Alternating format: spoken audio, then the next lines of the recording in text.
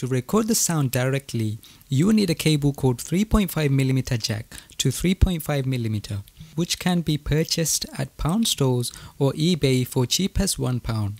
Once you got that cable, plug it into your headphone jack of your device to the computer into the audio input port or the microphone input port. Then go into your sound settings for Windows, type start, then in the search box, search for the word sound. Click on sound card settings and click on recording tab. There you should see recording inputs. If you do not see this option, then right click and click show disabled devices.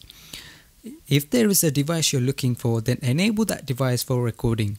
If you still do not see any recording device, then you probably do not have an audio input on your computer. Therefore, you need to purchase a USB sound card which has an audio input recording. I suggest this USB sound card to buy off eBay which I already have for more than 5 years. It can record input audio input up to 2 channels at 16-bit 48Hz. I highly recommend getting the sound directly from the device using the cable for better quality and more like a real instrument sound.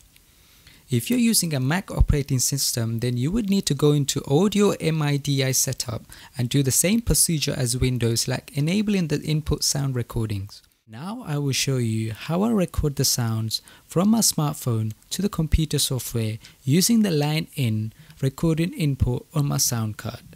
You can also use this method with any instruments or any device you may have which has a headphone out jack. I will be using the app Walkband. As you can see, I have plugged in the 3.5mm audio cable into the line input on my sound card and, the, and into my phone headphone jack. So the sound is being directly transferred into the sound card to the computer. So if I go to sound settings on Windows, I can see the line in. And I'm going to go to properties and you need to go to listen and check this box listen to this device.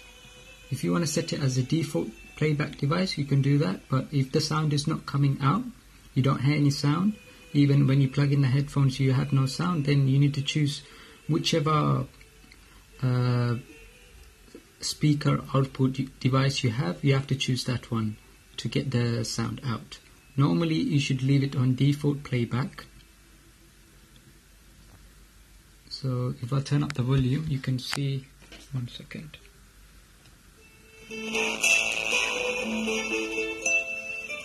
You see, you see the bars on line in. The sound is working. So I'm gonna go into Audacity, and uh, in Audio Audacity, the default inputting device will be selected as your microphone, and you want to change it to line input device. Line in USB multi-channel.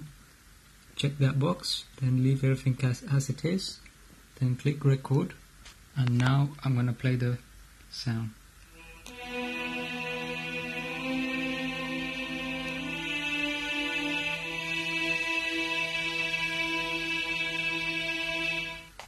So I have played it now. I'm going to play it back